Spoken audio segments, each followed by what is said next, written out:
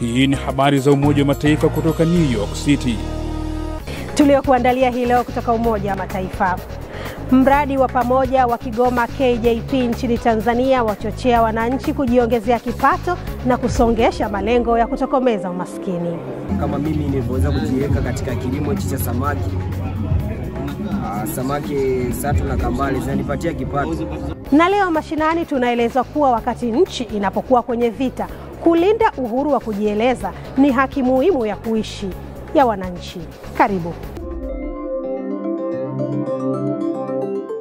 Naam, ni Jumanne ya tarehe 18 mwezi Oktoba mwaka 2022, nami ni Lea Mushi na leo ni mada kwa kina. Tunamulika harakati za kutokomeza umaskini nchini Tanzania zinazochagizwa na Umoja wa Mataifa. Lakini kwanza, kabla ya yote, tupate habari kwa ufupi zinazoletwa kwako na Asumta Masoi. Habari kwa ufupi. Hii leo huko Berlin, Ujerumani, kando mwa mkutano wa viongozi kuhusu afya, viongozi wa dunia wamethibitisha kuwa watatoa dola bilioni 2.6 kusaidia mpango wa kimataifa kutokomeza polio duniani wa kuanzia mwaka huu 2022 hadi 2026. Taarifa iliyotolewa na shirika la Umoja Mataifa la afya ulimwenguni WHO jijini Geneva, Uswisi hii leo imesema ahadi hizo zimetolewa katika tukio la uchangishaji fedha na zitasaidia harakati za dunia za kuondokana na vikwazo vya mwisho vya kutokomeza polio, kutoa chanjo kwa watoto milioni 370 kila mwaka katika kipindi cha miaka mitano ijayo na kufuatilia ugonjwa huo katika nchi 50 duniani. Tukisalia Berlin kwenye mkutano wa afya, ripoti mpya ya Umoja wa Mataifa iliyozinduliwa leo inaonyesha kuwa afya ya wanawake na watoto duniani kote imeathirika wakati huu ambapo mizozo, madhara ya janga la COVID-19 na mabadiliko ya tabia nchi yanachochea kurudisha nyuma ustawi wa watoto, vijana na wanawake. Takwimu za ripoti hiyo zinaonyesha kurudi nyuma zaidi kwa vipimo vyote vikuu vya ustawi wa mtoto na vigezo vya malengo ya maendeleo endelevu SDGs, mathalan utoaji wa chanjo kwa watoto, ambapo takwimu zinaonyesha kuwa mwaka 2021 watoto milioni 25 hawakuwa wamepatiwa chanjo, ikiwa ni nyongeza ya watoto wengine milioni 6 ikilinganishwa na mwaka 2019. Na leo ni siku ya kimataifa ya kukoma hedhi kwa wanawake au menopause kwa lugha ya Kiingereza, maudhui yakiwa uelewa na fikra, ambapo shirika la Umoja wa Mataifa la afya ulimwenguni WHO linasema hali hiyo inaathiri kiuchumi na kijamii zaidi ya nusu ya wakazi wa dunia, lakini uelewa wake bado ni mdogo, hivyo linataka serikali kutambua suala hilo kuwa la afya ya umma.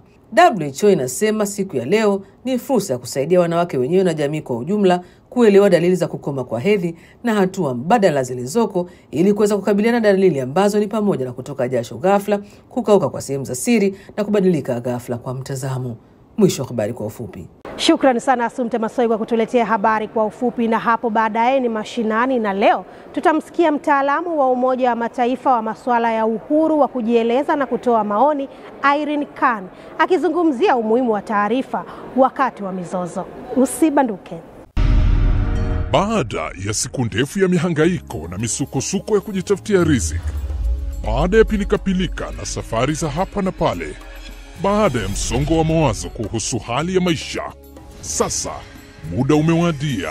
Ni habari za UN, habari za Umoja wa Mataifa kuhusu amani, usalama, maendeleo, haki za binadamu, siasa na uchumi. Hali kadhalika makala kuhusu malengo ya maendeleo endelevu SDGs au ajenda 2030. Unasikiliza idhaa ya Kiswahili ya Umoja wa Mataifa kutoka New York.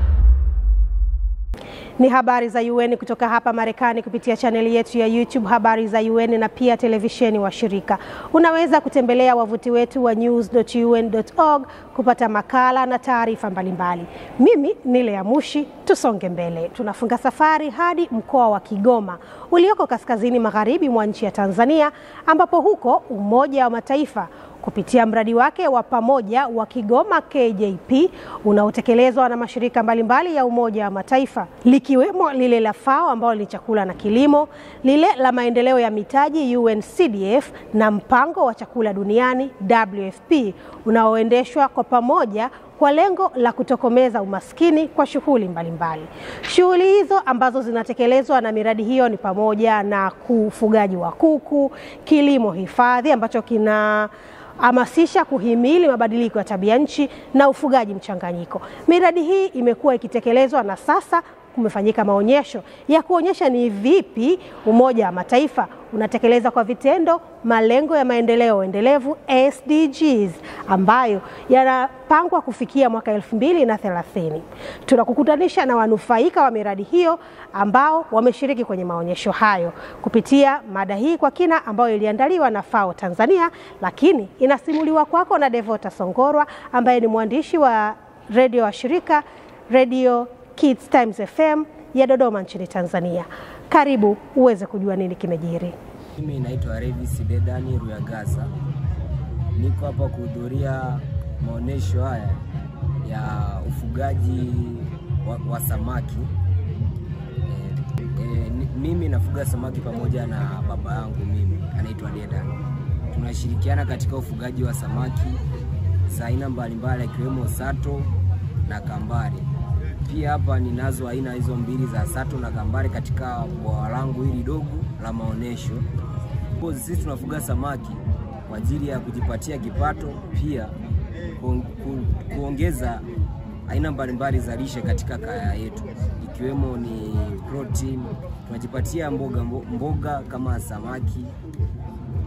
Kijana huyu ni miongoni mwa washiriki wa maonesho ya bidhaa za kilimo yaliyofanyika halmashauri ya wilaya Kasulu mkoani Kigoma, yakiandaliwa kwa pamoja na mradi wa pamoja wa Kigoma KGP unaotekelezwa na mashirika ya Umoja wa Mataifa na kushirikisha wadau mbalimbali wakiwemo wakulima waliofadhiliwa na KGP kutoka halmashauri za wilaya ya Kasulu vijijini, Kakonko na Kibondo. Kijana Levis ana ujumbe kwa vijana. Aa, mimi kama kijana ambaye cha kwanza nasoma japo najishughulisha na hiyo kazi ya ufugaji wa samaki.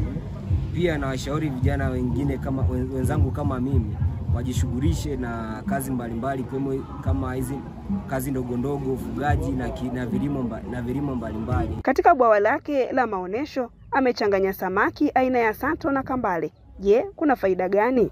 Faida na pia kuna changamoto, japo changamoto sio kubwa sana, ila faida ndio nyingi tunapochanganya kambale na, na sato, cha kwanza kambale anatusaidia kuchimba mashimo ambayo yanamsaidia sato kutagia mayai yake, na pia katika kipindi cha kiangazi inapotokea ile dryness, tuna samaki wanapata nafasi za kwenda za kujificha. Na akarejelea tena ujumbe kwa vijana walio shuleni. Nawaambia vijana wenzangu ambao wanasoma na wengine hawasomi waweze kujishughulisha na kazi mbalimbali, mbali, kwa sababu pia kilimo ni sehemu ya maisha yetu kinachoweza kutuinua, kama mimi nilivyoweza kujiweka katika kilimo hichi cha samaki. Aa, samaki sato na kambale zinanipatia kipato.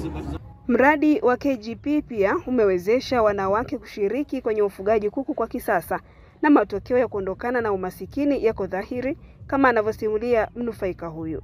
Kwa jina naitwa Petrina arubedi Nimekuja hapa kwa niaba ya kuwakilisha wafugaji wa kuku.